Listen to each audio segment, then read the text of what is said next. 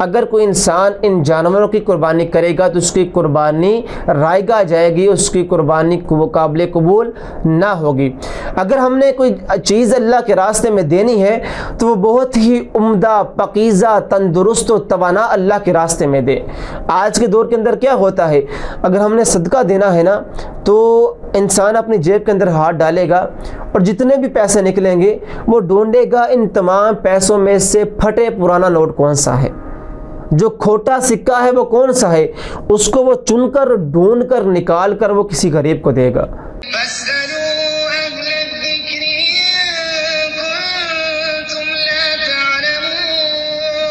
Aslam welcome to my channel info T V मज़ नाजरीन उम्मीद करता हूँ आप खैरियत से होंगे। अल्लाह रबालमीन हम हम सबको अपने हिफ्ज़ अमान में रखें। जैसा कि आप अहबाब जानते हैं कि ईद आने वाली है चंद ही दिन है ईद के अंदर। तो ईद अज़हा पर जो एक काम बहुत ही ज़्यादा किया जाता है, कसीर तादाद का किया जाता है, एक सुन्नत पर अमल बहुत ज़्यादा किया जाता है, बहुत ही बड़ा वो अमल है, वो है कुर्बानी का अमल। सारे मुसलमानों की ये कोशिश होती है कि ईद अज़हा पर अपनी इस्तात के मुताबिक कुर्बानी की जाए, सुन्नत इब्राहिमी को पूरा किया जाए और उसको तरोताज़ा किया जाए। तो सुनत इब्राहिमी को पूरा करने के लिए भी दीन इस्लाम ने कुछ शराइत को रखा है। कुछ क्रोनो जवाबत को कायम किया गया है। ईद अज़हा पर जो कुर्बानी की जाएगी, उस कुर्बानी के भी कोई असूल हैं, कोई कानून हैं, कोई शराइत हैं। उन शराइ में से जो जानवर की शराइत हैं कि किन किन जानवरों की कुर्बानी होती है और किन किन जानवरों की कुर्बानी नहीं होती। आज हम ये बयान करेंगे कि ऐसे कौन से वो चार जानवर हैं कि जिनको अल्लाह रब्बुल आलमीन ने ये फरमाया कि इन जानवरों की कुर्बानी करना जायज़ नहीं है। अगर कोई इंसान इन जानवरों की कुर्बानी करेगा तो उसकी कुर्बानी रायगा जाएगी, उसकी कुर्बानी काबिल कबूल ना होगी। देखिए, हमने जानवर कुर्बान करना है, सुन्नत इब्राहिमी को पूरा करना है, हमने जानवर को कुर्बान अल्लाह की राह में करना है तो किस लिए? अल्लाह को राज़ी करने के लिए। हमने अल्लाह की रज़ा के लिए वो काम करना है तो हमें जब अल्लाह की रज़ा के लिए कोई काम दिया जाए तो हमें ये कोशिश करनी चाहिए कि हम उसको बहुत ही उम्दा तरीके के साथ, बहुत ही अच्छे और नफीस तरीके के साथ उसको करें। अगर हमने कोई चीज़ अल्लाह के रास्ते में देनी है तो वो बहुत ही उम्दा, पकीज़ा, तंदुरुस्त और तवाना अल्लाह के रास्ते में दे। आज के दौर के अंदर क्या होता है? अगर हमने सदका देना है ना तो इंसान अपनी जेब के अंदर हाथ डालेगा और जितने भी पैसे निकलेंगे, वो ढूंढेगा इन तमाम पैसों में से फटे पुराना नोट कौन सा है? जो खोटा सिक्का है, वो कौन सा है? उसको वो चुनकर ढूंढ कर निकाल कर वो किसी गरीब को देगा। ये कितनी अफसोस वाली बात है।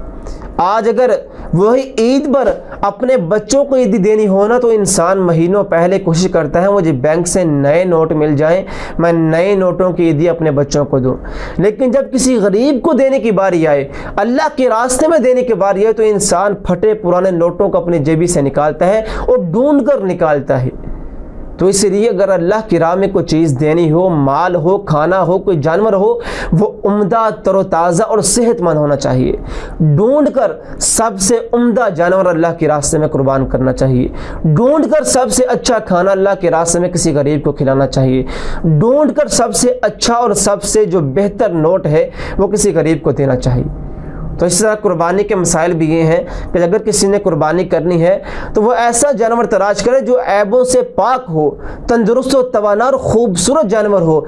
जितना उम्दा जानवर होगा, जितना खूबसूरत और तवाना जानवर होगा, अल्लाह रब्बुल आलमीन के यहाँ उसकी उतनी कदर कीमत ज़्यादा होगी। अल्लाह रब्बुल आलमीन उसको उतना ही अजर सवाब ज़्यादा देंगे जितना वो उम्दा जानवर होगा। तो वो कौन से ऐब हैं जो ऐबदार जानवर है, वो काबिल कबूल नहीं। बरा बिन आजिब रदी अल्लाह तु से रवायत है सल्लल्लाहु अलैहि ने फरमाया कि अरबाउ ला तजूज़ु फिल अज़हाई, चार जानवर ऐसे हैं कि जिनकी कुर्बानी करना जायज़ नहीं, उनकी कुर्बानी नहीं होती।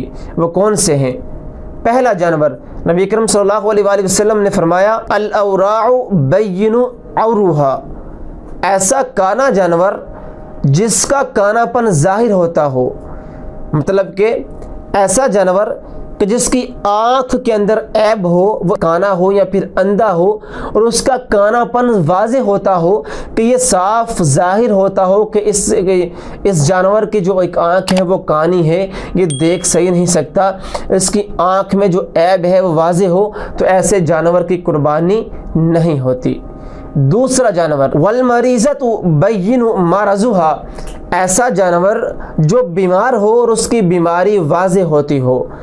मिसाल के तौर पर कि जानवर है, वो पता चल रहा है कि ये जानवर बीमार है, लाचार है। ये जानवर की बीमारी वाज हो रही हो तो ऐसे जानवर की कुर्बानी भी नहीं होती कि जिसकी बीमारी वाज हो रही हो। हर इंसान पहचान रहा हो कि ये इसको, ये बीमारी है, ये बीमार जानवर है। तीसरा जानवर, वल बैजनु जरहा और ऐसा जानवर जो लंगड़ा हो और उसका लंगड़ापन ज़ाहिर होता हो, कि जो इन जानवर है, वो चलता है और चलते चलते वो लड़खड़ाता है। उसकी एक टांग या दो टांगे ठीक नहीं, उसकी टांग में जहम है या फिर टूटी हुई है, और जब वो चलता है तो वो लंगड़ा कर चलता है, उसका लंगड़ापन ज़ाहिर होता है। ऐसे जानवर की कुर्बानी भी अल्लाह के यहाँ काबिल कबूल नहीं है।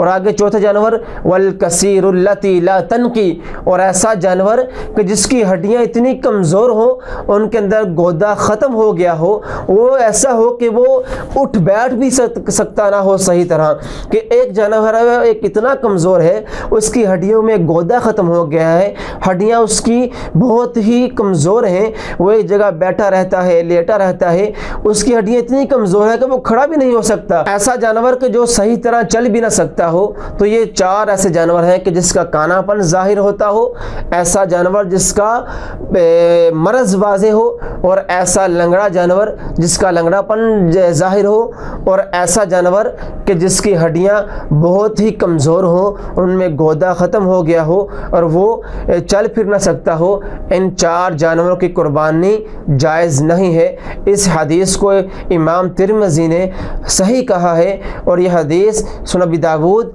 सुनसाई और इबन हब्बान में भी ये मौजूद है। तो इन जानवरों की कुर्बानी अल्लाह के यहाँ काबिल कबूल नहीं। तो जब इंसान जानवर ख़रीदने जाए तो वो इन तमाम ऐबों को देख ले, उसको चलाकर उसकी आँखों में उसका धोंदापन उसका कान, उसकी टांगें, उसकी हड्डियाँ, वो अच्छी तरह देख के तसली करे कि जानवर बहुत ही उम्दा, सेहतमंद तोाना है। फिर वो ख़रीद कर घर लाए तो वो अल्लाह रब्लमीन के यहाँ कुर्बान करे।